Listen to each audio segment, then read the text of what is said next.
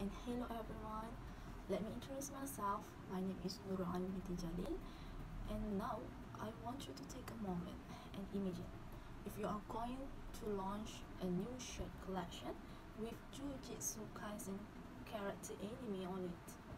Which video sharing platform will you use to upload? So my topic today is obviously TikTok versus YouTube. Which platform is good for launching? Let's decide which platform will satisfy our marketing needs by comparing their differences. First, the major difference is watch time. As we all know that the maximum length of TikTok is just only for 60 seconds. Creators only have a minute to convey their message and some might think that it's a bit difficult. But YouTube doesn't have any kind of watch time limit, which provides a better chance for us to create a longer promotional video content for business. But as yourself, if you are a buyer and you wanted to buy a shirt, are you willing to watch a 15 minutes video or 60 seconds is enough? I think too long is too boring, so I will go for TikTok. Second, who is the audience? All generations from kids to the elders are watching YouTube. But TikTok audience is mostly teenagers. This purpose depending who is your target audience.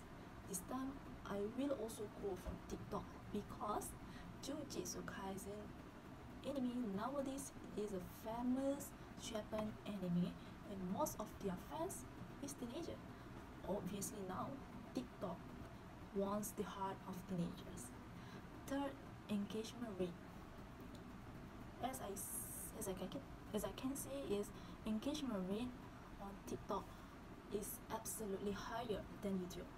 Engagement rate shows how much people interact with the content you did. Engagement on TikTok increases as a benefit of challenges and the hashtags of course is easy going viral. The more people watch your video, the more easy for us to promote our shirt. Lastly, talking about the production cost. Surely TikTok is much lower than the YouTube. This really helps us to save our budget. In the nutshell, YouTube and TikTok are amazing platform for advertising our products, but to launch or to promote our Jujutsu Kaisen shirt, I believe TikTok is the best platform. That's all from me. Thank you for your attention.